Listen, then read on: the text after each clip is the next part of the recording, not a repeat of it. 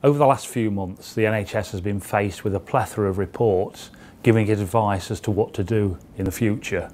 We calculated that over a thousand recommendations have been made to the NHS over that period.